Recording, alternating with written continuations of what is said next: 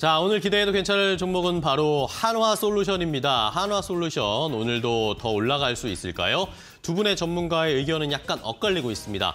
자, 한 분은 하반기에 이 태양광 부분 실적 개선 이어질 것이다. 다시 태양광 살펴봐야 된다라는 의견으로 더 올라갈 거다라는 의견을 주셨고요.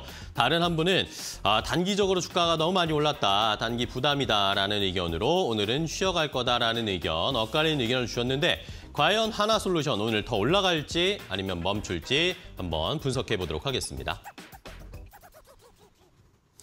자, 오늘 기대해도 괜찮은 두 분과 함께 하도록 하겠습니다. 레몬 리서치의 김민수 대표 그리고 루크투자연구소 임수재 대표 모셨습니다. 두 분 안녕하세요. 반갑습니다. 반갑습니다. 자, 오늘은 한화솔루션 좀 보겠습니다. 태양광과 관련된 이야기들이 다시 좀 부각이 되면서 주가가 한화솔루션이 화요일에 6% 넘게 올랐나요? 예, 상승세가 좀 나왔는데 두 분의 의견은 일단 좀 엇갈리고 있습니다. 어떤 분이 먼저 좀 이야기해 주실까요? 뭐 네. 임순재 대표님이? 네. 네. 네. 일단 뭐 한화솔루션 한다라고 하게 되면 뭐 대표적인 이제 태양광 관련된 네. 뭐 종목이다라고 뭐 많이 얘기를 하시고요. 그 외에 이제 종합화학 관련된 부분도 같이 있다라고 보시면 될 것 같습니다. 일단 1분기 매출은 뭐 분기 매출로는 이제 사상 최대 규모를 기록을 했고요. 음, 네. 어, 2, 조 9,700억 그래서 23% 증가를 했습니다. 음. 이에 비해서 이제 영업이익은 이제 38% 감소를 했는데요. 1,578억을 기록을 했습니다.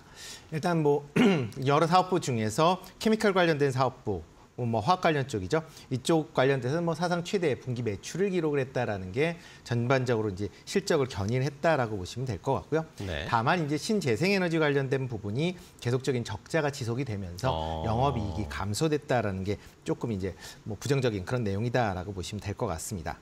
뭐 좀 전에 말씀드렸듯이 이제 그 태양광과 이제 종합화학이 가장 큰 사업부로 이제 분류가 되고 있는데요.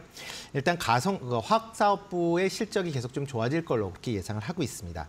특히 이제 가성 소다 가격의 그 급등으로 인해서 최근 들어 이제 어, 그 매출이나 아니면 영업이익이 좀 더 증가한다라고 보시면 될 것 같고요. 어, 전 세계 뭐 가성소다 시장의 한 절반을 중국 업체들이 차지를 하고 있습니다. 네. 근데 이제 중국 업체들이 환경기 및 이제 물류 관련된 이슈 때문에 그 가성소다의 생산량을 그렇게 늘리지를 못하고 있는 그런 상황이고요. 또 이제 일본 주요 업체들 같은 경우도 생산시설 보수 여파로 생산량이 감소하는 그런 모습을 보이고 있습니다. 음. 이에 따라서 뭐 하나 솔루션이 뭐 상대적인 그런 상대적으로 이제 강한 그 수혜를 좀 입는 거다라고 보시면 될 것 같고요. 뭐 가성 소다 관련돼서 국내 점유율 1위를 기록을 하고 있습니다. 52%를 기록을 하고 있고요. 현재 관련된 분야로 지금 뭐 추가적으로 27만 톤을 추가 뭐 증설을 할 계획을 갖고 있기 때문에 아마 향후에는 좀더 가성 소다 관련된 부분의 매출이 증가하지 않을까라는 생각이 들고 있고요. 그 외에 이제 태양광 관련된 부분은 아마 지금 계속 적자를 기록을 하고 있는데요. 네. 그렇게 적자 원인이 어, 뭐 원자재 가격의 상승분입니다. 특히 이제 폴리실리콘 가격이 계속 강세를 보임에 따라서 뭐 관련된 그 실적이 조금 부진한 그런 모습을 보이고 있는데요. 최근 들어 이제 그 어, 그이 폴리실리콘을 이제 조금 이제 해소하기 위해서 음. 뭐 REC라는 그 미국의 이제 실리콘 생산 업체의 지분을 인수하면서 이제 최대 주주를 확보를 했고요. 음. 그다음에 OCI하고 폴리실리콘 계약을 어, 체결했습니다. 뭐 2024년부터 향후 10년 동안 10억 달러 규모의 이제 폴리실리콘 규모가 그러니까 그 공급 계약을 이제 MOU를 체결을 했는데요. 이를 통해서 폴리실리콘에 대한 그 부분이 조금 안정화될 수 있다라고 음. 보여지면 될 것 같고요. 이와 더불어 또 이제 미국 조지아에 뭐 추가적인 그 공장을 신설 증설을 할 걸로 그렇게 예상이 되고 있습니다. 그래서 1억 7천만 아 1억 7천만 달러를 투자를 해서 1.4기가와트 규모의 뭐 태양광 모듈 공장을 완성한다라고 하게 되면 현재도 뭐 미국 최대의 주택 상업용 태양광 모듈을 공급하게 되는데요. 그 시장이 좀 더 견고하게 되지 않을까라는 기대를 해보고 있습니다. 네. 자 이렇게 이 태양광 쪽에 다시 관심이 부각이 되면서 이 폴리실리콘 가격에 대한 뭔가 대책도 하나 솔루션은 준비를 하고 있다는 것을 봤을 때 앞으로 하반기에는 좀 실적이 더 개선될 수 있지 않을까라고 임순재 대표님은 이야기를 해주셨고 그런데 김민수 대표님은 어 아니다 어, 너무 많이 올랐다라고 보시네요. 네 보통 저희가 이런 이슈 많을 때 주가는 당연히 움직입니다. 음. 거기 따라갔을 때 좋은 적이 있었던 거예요. 네. 네. 그래서 지금 따라가는 것보다 한 템포 좀 변화가 쉬었다가. 나왔을 때 예, 그때 음. 들어가는 게 좋겠다라고 바라 봐야 될 것 같고요.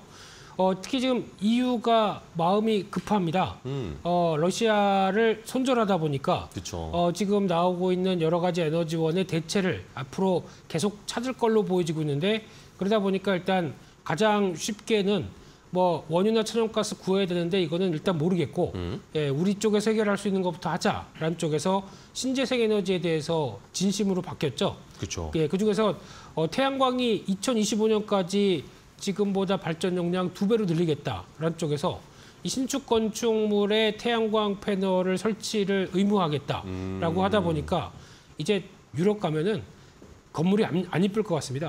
태양광 패널. 덕지덕지 있으면 네 어, 신축 건물이긴 하지만 그래도 어, 조금 예전에 어, 유럽의 라마 그 로망은 사라지는 것 같고요. 근데 그 중에서 이제 말씀하셨던 이제 한화 케미칼도 있고 어, 한화 케미칼은 뭐 다 아시는 것처럼 약간 범용 화학 소재다 보니까 가격에 좀 민감한 측면들이 많기 때문에 이거는 하나하나 좀 뜯어봐야 될 것 같고요. 그밖에 한화 큐셀엔 어, 첨단 소재 이쪽이 있는데 어, 대표적으로 첨단 소재 쪽이다 보니까 자동차 산업용 전자 소재 이런 쪽으로 들어가는데 가장 눈길이 가는 게 한화 큐셀이죠. 네네. 예, 미국, 독일, 일본 태양광 모듈 시장 점유율 1위를 차지를 하고 있습니다. 근데 여기서 중요한 부분들이 어, 이제 셀 모듈 업체다 보니까 가장 중요한 폴리실리콘 원료를 사용해서 만들게 되는데 폴리실리콘 가격이 올라간다. 그러면은 셀 모듈 업체는 안 좋은 측면들이죠. 음. 그래서 또 오히려 수익성이 안 좋다는 거는 감안을 해야 될 것 같은데 그 폴리실리콘 가격이 올라간다라고 하게 되면 특히 폴리실리콘은 전기를 무지 많이 먹습니다. 이거를 전기를 써서 그 다음에 생산하다 보니까 전기 요금이 올라가게 되면은 폴리실리콘 가격이 올라갈 수밖에 없겠죠. 네. 그래서 아마 지금 시장에서 예상하는 것보다 셀 모듈 가격의 그셀 모듈 업체들의 수익성은 하반기 생각보다 안 좋을 수는 있다라는 거는 염두를 해야 될 것 같고요. 그런 쪽으로 봤을 때는 그러면 어, 수익성이 조금 낮아진다고 하더라도 이 폭발적인 Q의 확대에 따라서 실적이 좋아진다라는 부분들로 해석을 하고 있는데 그래서 지금 영업이익이 올해 한화 큐셀만 하더라도 1조 원 가까이 될 것이다. 왜냐하면 유럽이나 네. 미국이나 일본까지도 다 이렇게 태양광 쪽을 강화시킨다라고 하게 되면 이런 가능성들이 영향 끼친다고 하더라도 네. 어, 약간 어, 어떤 수익성에 대한 부분들은 자- 다시 좀 고민해야 되지 않을까 생각되고 있고요. 그런 쪽에서 지금 기준으로 보게 되면 어, 시총이 7조 4천억입니다. 그렇기 때문에 어. 올해 어, 실적 나오는 부분들을 어느 정도 감안해서 나오는 주가다라고 볼 수도 있기 때문에 실적 확인되기 전까지는 뭐 하반기에 뭐 폭발적인 확인되기 실적이 확인되기 전까지는 이를 어느 정도 반영한 주가가 지금 돼 있다라는 쪽에서 따라가지 말고 차라리 좀 흐름들을 보고 대응하자 이렇게 말씀드리겠습니다. 알겠습니다. 자, 김민수 대표님은 하나솔루션 뭐 지난주부터 급등세가 좀 이어지고 있는 상황인데 단기적으로 너무 많이 올라왔고 실적이 이제 좀 개선되는 것들을 보고 확인하고 들어가도 늦지 않다라는 그런 의견을 김민수 대표님 주셨습니다. 자, 두 분이 좀 엇갈리는 의견을 주셨는데 시청자 여러분들은 하나솔루션 상승이냐 아니면 하락이냐 한번 잘 판단해 보시기 바랍니다. 오늘 시장에서 저희도 함께 체크를 해보겠습니다.